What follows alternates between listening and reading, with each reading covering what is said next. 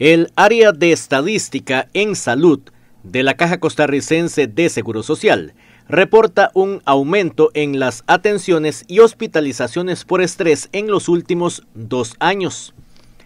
El número revela que la mayoría de las atenciones en consulta externa recaen principalmente en las mujeres con edades entre los 20 y 44 años. También se registran casos en población infantil y adolescente. Síntomas como cefaleas, que es el dolor de cabeza, malestar gástrico, hipertensión arterial, sudoración, temblor corporal, problemas dermatológicos, tensión muscular y dificultades del apetito. Personas consultadas por TV Sur Pérez Celedón ratificaron cómo el estrés los lleva a buscar un centro médico. ¿Ha ido al hospital por estrés? Sí, yo he ido por estrés un montón de veces. Lo que le dan a uno es sintominefén nada más. Y yo tengo la casa así, dormía ya, el dolor de cabeza. Yo no hallo que hacer, vengo a hacer mandados aquí, puedo llegar un dolor de cabeza, que me puedo hacer loco. Yo, yo tengo los tiroides que me mata también.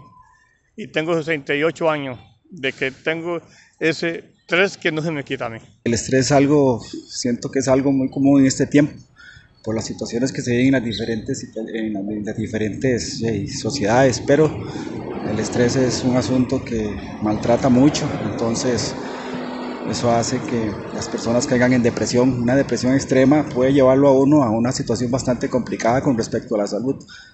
Siento que puede afectar la salud en general. Entonces hay que atacarlo. Porque el estrés lo manda a uno hasta el asilo. Yo en días atrás tuve un dolor aquí que yo creía que era, bueno, hasta me hicieron un tacto, creía que era un tumor o era algo que tenía y no, era estrés y entonces ya tuve que agarrarme duro del Señor y la oración fue la que a mí me, me quitó ese estrés realmente. Y eso, abandonarse uno. Estoy pasando una, un momento de que estuviera estresaitica, porque apenas hace 22 días se me murió una hija.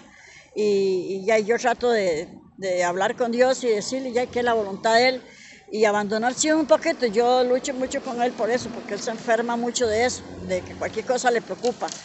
En los últimos dos años, en la población que va de 1 a 14, se registraron más de 25.069 atenciones de trastornos por estrés. Los especialistas piden buscar ayuda con el médico, quien le podrá realizar una valoración inicial de sintomatología asociada.